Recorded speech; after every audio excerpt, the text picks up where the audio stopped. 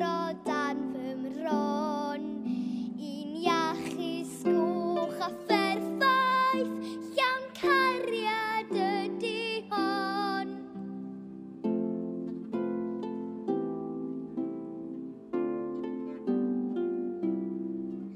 Fe deimlaf dristwch weithiau Dro arall rwyf yn llon Fe deimlaf ofn a chyfnod